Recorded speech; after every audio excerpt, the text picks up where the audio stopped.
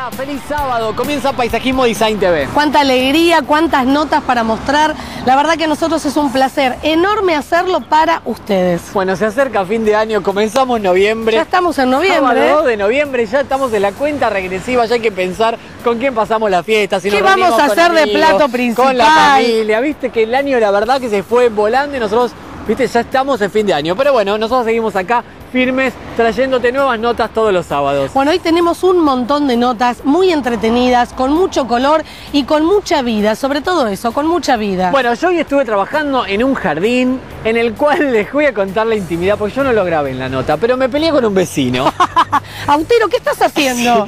Estábamos trabajando en una medianera de una casa, eh, para cubrirla, para ocultarla, y salió el vecino enojado, me insultó, me dijo de todo. a ¿Está mí, grabado a todo? todo el equipo. No, la verdad que no lo grabamos, pero con la cámara lo intimidamos, eh. Así que si él ve el programa, que seguro que sí, se va a quedar un poco sorprendido de todo lo que hicimos contra esa pared. Pero bueno, la verdad que da- estaba muy feo, había que taparla, daba un jardín lindísimo. Le mandamos un beso grande al vecino eh, por la buena onda que le puso a la nota. Sí, sí, tal cual. Bueno, la pasamos muy mal, pero ahora nos reímos. ¿viste La verdad que, sí, hay que reírse un poco. Se ríe hay de que exorcizar anécdotas. lo que nos pasó. Bueno, vos hiciste una no- lindísima nota de arte, Yo no hice se una nota de también. arte especial para toda la gente. Y bueno, ¿qué te parece si llevamos a la pelea? Dale, comenzamos ya mismo, auspiciado por... Minivela Fashion Spa, Boulevard Marítimo 565, entre Ituzaingó y Necochea, 474-7265. Viví la magia, viví Minivela.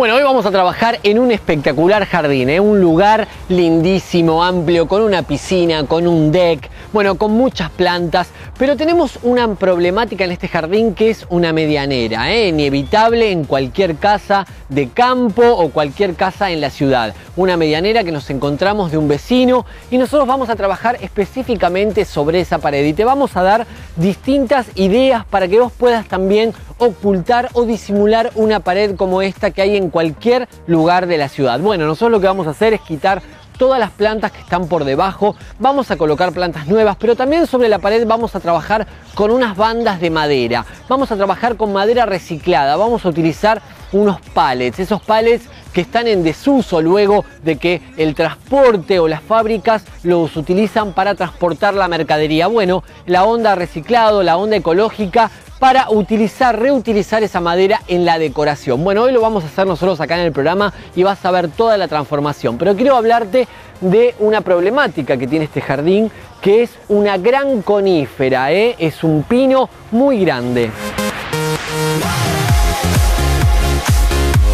Este pino, además de darnos un suelo ácido, también nos da un suelo muy seco. ¿Por qué? Porque tiene muchas raíces y porque eh, consume la mayor parte del agua que cae en este sector del jardín. Bueno, hoy presta atención porque todas las variedades que vamos a utilizar van a ser variedades resistentes a esta situación de suelo, un suelo seco. Un lugar en donde hay que aplicarle mucha más agua. Este jardín no va a tener problema porque tenemos riego por aspersión. ¿eh? Así que no vamos a tener esa problemática, pero sí vamos a trabajar con este tipo de plantas que son resistentes a estas situaciones de suelo. Así que, ¿qué te parece? Ya está llegando la gente del vivero. Vamos a empezar a bajar las plantas y vamos a realizar todo este trabajo aquí en el programa en Paisajismo Design TV.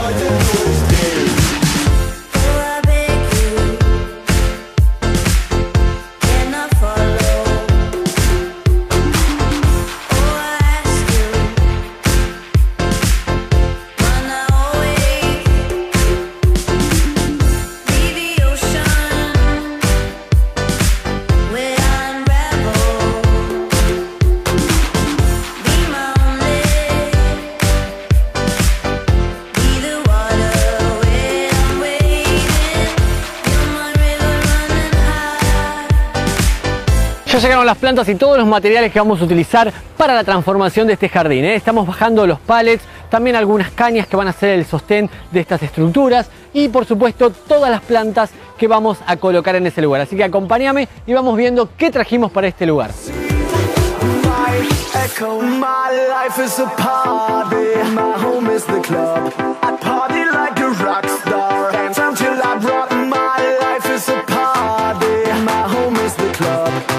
Stage is the dance floor. Party never stops. My life is a party.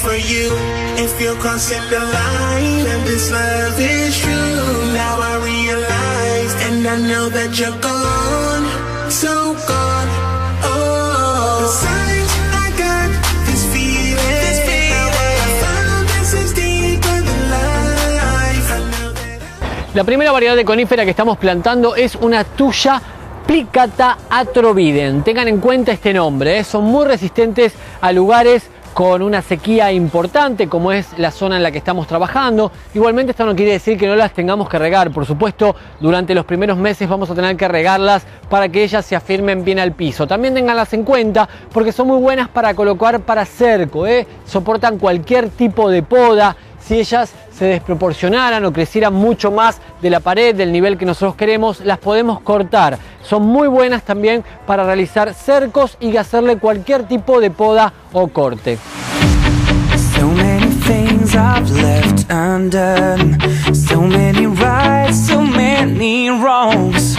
Feels like I've never crossed a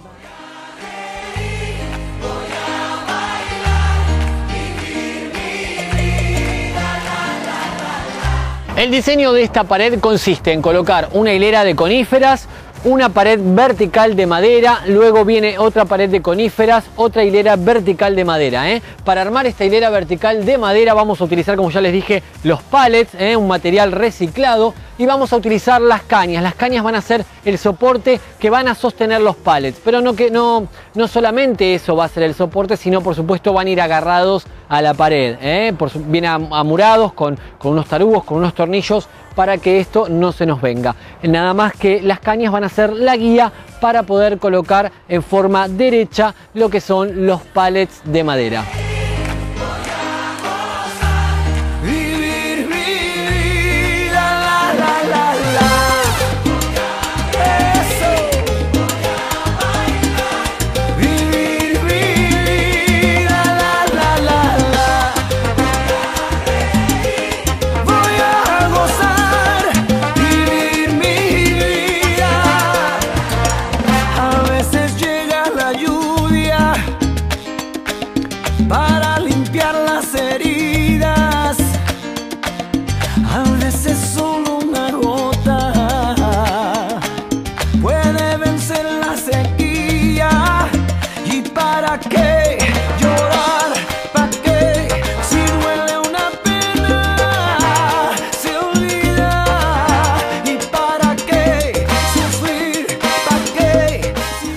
Ahora sí, la segunda variedad que vamos a empezar a plantar en este cantero son unos azareros enanos. Ya tenemos dos de las columnas de madera realizadas, ya colocamos las tuyas Astroviden y ahora sí vamos a colocar estos azareros enanos, así que los empezamos a plantar.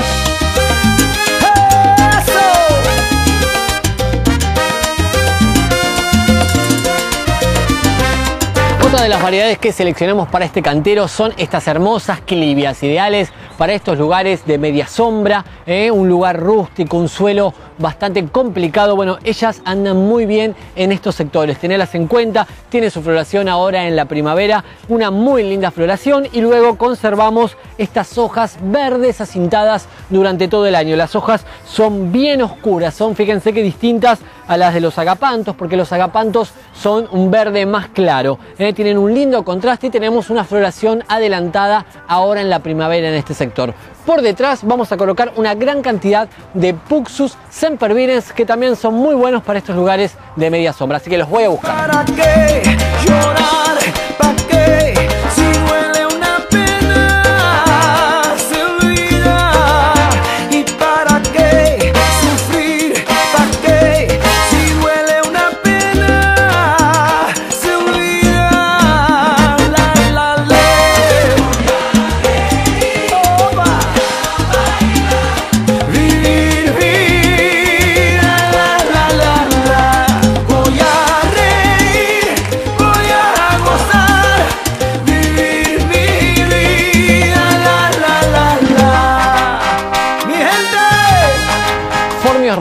Infaltables para dar un toque de color. Y acá estamos haciendo un macizo de rosas iceberg. Tengan en cuenta que las rosas empiezan a dar floración ahora desde mediados de la primavera hasta llegado el invierno, ¿eh? a principios del invierno. Así que son muy floríferas. Rosas iceberg de pie bajo, un lindo macizo que ahora vamos a empezar a plantar y seguimos armando todo este cantero.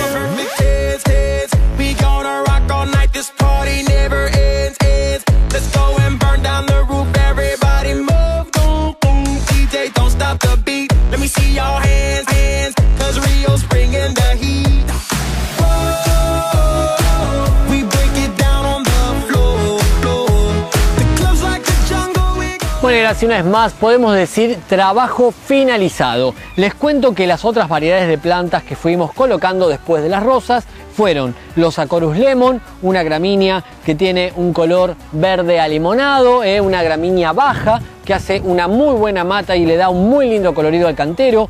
Colocamos las Antolinas en un color gris, también hacen un impacto visual. Por delante lo que hicimos colocar florales de estación que son las alegrías del hogar. Del otro lado colocamos los Ophiopogon o pasto inglés, una gran cantidad de agapantos en color azul y por detrás, al lado de un roquero que armamos, lo que colocamos fueron unas eves, ¿eh? una variedad de arbusto que tiene una muy linda floración en un color violeta. Espero que hayan disfrutado de todo este trabajo. Nosotros empezamos a las 8 de la mañana y terminamos exactamente a las 4 de la tarde. Es una tarea de todo el día, pero hemos cambiado este lugar por completo con las coníferas, con los pallets que reciclamos, haciendo unas bandas de madera. Bueno, espero que les hayamos dado un montón de ideas y que ustedes por supuesto hayan disfrutado de toda esta tarea. Un antes y un después que realmente valió la pena. Ahora sí quédate porque continuamos con mucho más paisajismo Design TV.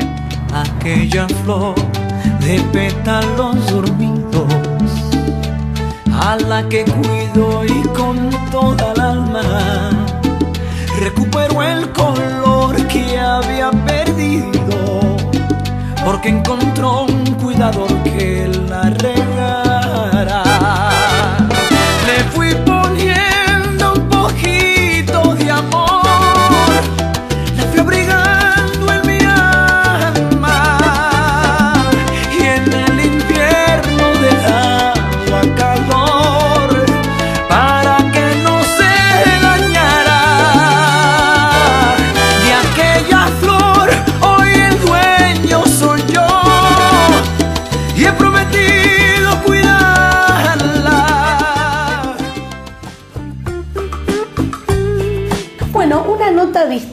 hoy, ¿por qué? Primero porque en el marco del taller, abrí mi taller, en realidad vine a un taller que me abrieron las puertas, se llama Espacio Frágil, queda en la calle Gascón, entre Entre Ríos y Buenos Aires. Los espero a todos aquellos que quieran eh, trabajar acá en el taller de pintura. Y hoy quiero mostrarte tres obras, una ya terminada y dos en proceso de tres alumnas mías. Primero te voy a mostrar la obra de Silvia Burlastegui, es un tríptico, un poco les da un poco de vergüenza a las chicas, pero después ya vamos a ir haciendo esto de la comunicación y vamos a ir interactuando con ustedes. Eh, cualquiera puede pintar, obviamente que sí, la cuestión es aprender, para eso estoy yo, para enseñar, y uno tiene que abrirse para aprender. En este caso tenemos una obra dividida en tres partes, ¿sí? una especie de historieta llamado tríptico, donde estamos narrando eh, en base a una imagen, a color, a textura, a un movimiento, una narrativa. Por, eh, por, supuesto que esta imagen podría tranquilamente visualizarse sola. ¿sí? Yo eh, puedo observar cada una de las partes de este tríptico y cada una comunica, pero las tres comunican una historia repartida que toda junta dice algo y nos comenta algo.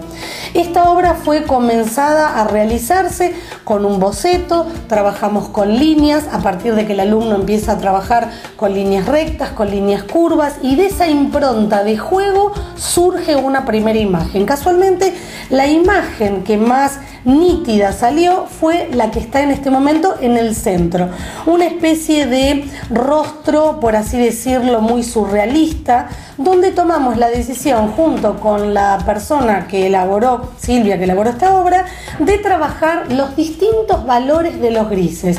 Y por supuesto, como pueden observar en imagen, un acento de color, en este caso el rojo, que va a estar dotando cada espacio de una esencia especial. Una obra que tiene mucho movimiento, una obra muy humanística, una obra que vos podés tranquilamente dibujar, pintar, abrir, abrirte y comunicar en esta cuestión creativa. Me encanta que el alumno pueda no solamente copiar una imagen, hoy en día la estética y el mundo de estas cuestiones decorativas que se van usando, imágenes, las africanas, los cacharros, las distintas imágenes que están de moda, pero vos también podés crear y esparcir en un lienzo tu propia creatividad. Deja eso en mis manos, yo te voy a ayudar para que vos puedas elaborar tu obra en el taller. Acá tenemos una obra pequeña pero muy, muy connotativa, que nos cuenta una historia y que vos seguramente vas a resolver. ¿Cuál es esta historia firmada por quién? Por Silvia Burlastegui. ¿Vamos con otra?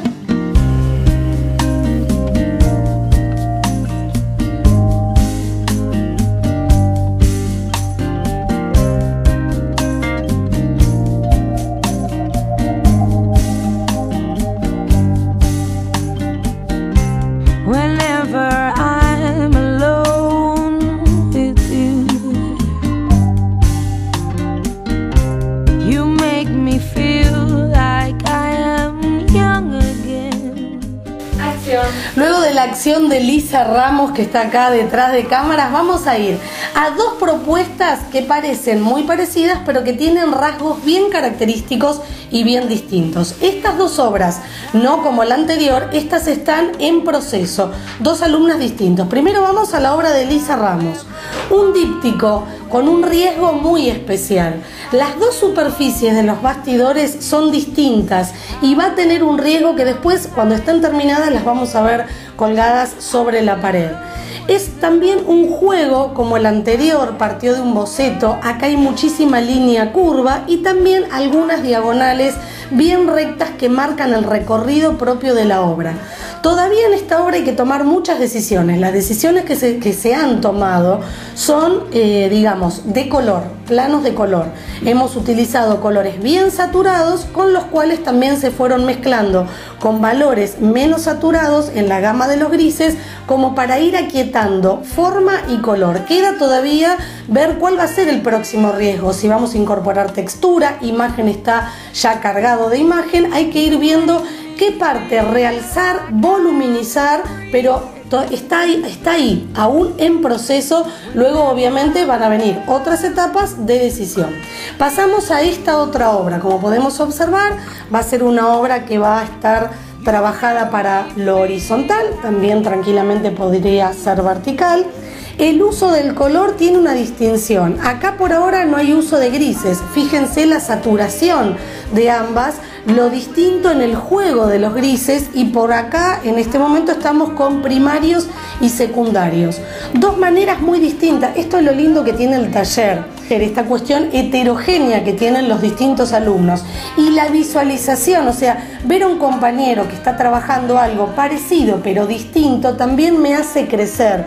La esencia del taller es no solamente responder a la enseñanza del maestro, volcar lo propio y también hacer lectura. Esta es una parte muy importante cuando uno hace lectura de la obra, no acabada como estas, pero que ya puede ir vislumbrando cuál va a ser el camino. Eh, mucha recta, mucha curva, volumen, una textura muy distinta. Esta alumna trabaja con textura más cargada, por más que sea plano liso, y acá la textura tiene una sutileza muy especial. Pero bueno, pequeños tamaños, dípticos, trípticos, el taller de analía que se ha abierto, los alumnos trabajan, vos podés tener tu oportunidad, llamame, mandame un mensajito por Facebook y en la próxima te muestro estas obras colgadas en la pared. Bueno, y ahora sí, finalizamos, ¿eh? Finalizamos. Muy lindo el programa, colmado de contenidos, estamos muy contentos y quiero en este momento, ya que transitamos este mes de noviembre, estamos a poco tiempo de terminar las clases, mandarles un saludo muy especial a mis nuevos egresados del Colegio María Auxiliadora, IMA 2013, que están egresando, eh, ya falta poquito, ya en un mes tenemos la fiesta que vamos a ir todos los profes a disfrutar de eso, así que les mando a todos y cada uno de ellos, que hace muchos años que son y los queremos muchos, alumnos nuestros, les mando un beso especial a todos, sexto año de la Escuela María Auxiliadora. Bueno, yo voy a aprovechar y voy a mandar un beso a todas las monjitas eh, que nos miran todos los sábados, ¿o no? Sí, la verdad, la hermana Luisita, la hermana Ana María, siempre nos miran todos los sábados, así que un beso muy grande para ellas. Bueno, ¿viste que la pared quedó linda? La pared ¿Eh? quedó buenísima. El vecino había hecho una cosa fea y había que taparla. Bueno, nosotros utilizamos, reutilizamos estos palets que se tiran a la basura. No te puedo dejar solo una nota que me, te me peleas con el vecino. bueno, recordá que podés visitar durante toda la semana en Facebook nuestra página Paisajismo Design TV. Para seguir conectados durante toda la semana. Así que con esto nos despedimos, ¿te va? Nos despedimos y por supuesto, hasta el próximo sábado. A la misma hora y por dónde? Por el mismo canal, Canal Chau, 10. chau. Chau, chau.